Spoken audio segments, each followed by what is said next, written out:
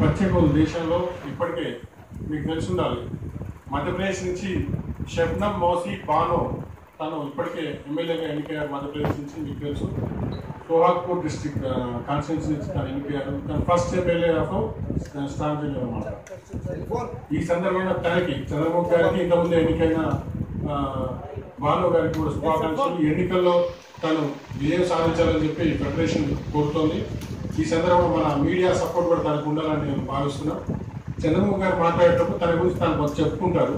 మనం కూడా కొంత చెప్తాం. హైదరాబాద్లో తన తను ఎన్నికల్లో దిగి దిగుతుంది అనగానే కొన్ని శక్తులు ఆమె వ్యతిరేకంగా పనిచేస్తున్నాయి. ఈ నేపథ్యంలో మన మీడియా కూడా తనకు సపోర్ట్ ఉండాలని చెప్పి నేను విజ్ఞప్తి చేస్తున్నాను అయితే తనకు నిన్న మొన్నే నామినేషన్ వేసింది. ఎన్నికల ప్రచారంలో దిగింది. తనకు తనతో పాటు వివిధ పార్టీలు ప్రధానంగా బిఎల్ఎఫ్ నుంచి సపోర్ట్ బాగా ఉంది. ఈ ఎన్నికల్లో తాను బాగా పనిచేసి విజయం సాధించాలని కోరుతూ ఆ, కార్యక్రమాలు నిర్వహించాల్సిందిగా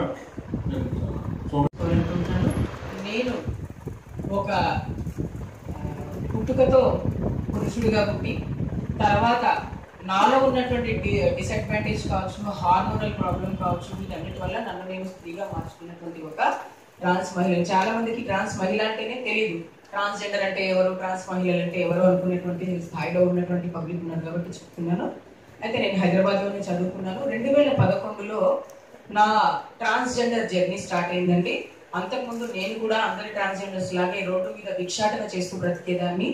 రెండు వేల పదకొండు ఆగస్టు పదిహేనో తారీఖు రోజు అలయన్స్ ఇండియా అనే ఒక సంస్థ నాకు ప్రోగ్రామ్ మేనేజర్ మన తెలంగాణలో ఆంధ్రప్రదేశ్ అప్పట్లో ఆంధ్రప్రదేశ్లో నేను మా నేను ఒక సింగిల్ ట్రాన్స్జెండర్ ప్రోగ్రామింగ్ మేనేజర్గా పనిచేశాను మన తెలంగాణ ఆంధ్రప్రదేశ్ స్టేట్స్లలో.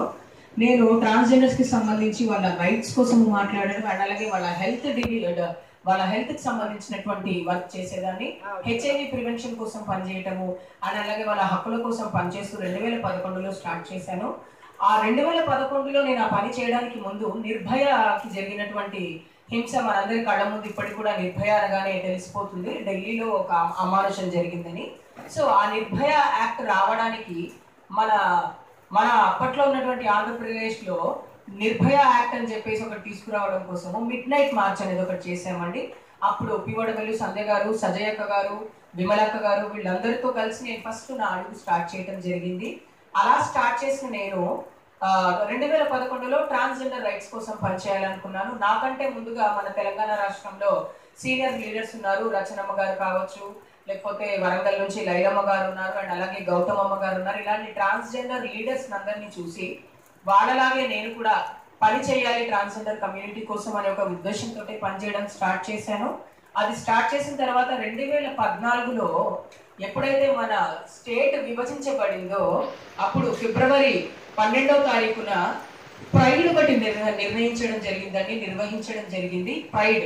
రెండు వేల పద్నాలుగు ప్రైడ్ ఎక్స్క్లూజివ్లీ తెలంగాణ ప్రైడ్ లాగా చేయాలని తెలంగాణ సాంస్కృతిక కార్యక్రమాలన్నింటినీ తీసుకొని మేము ప్రోగ్రామ్ చేసి కేటీఆర్ సార్ గారిని కలవడం జరిగింది మా వినతి పత్రాలు ఇవ్వడం జరిగింది మాకున్నటువంటి సమస్యల గురించి మాట్లాడడం జరిగింది.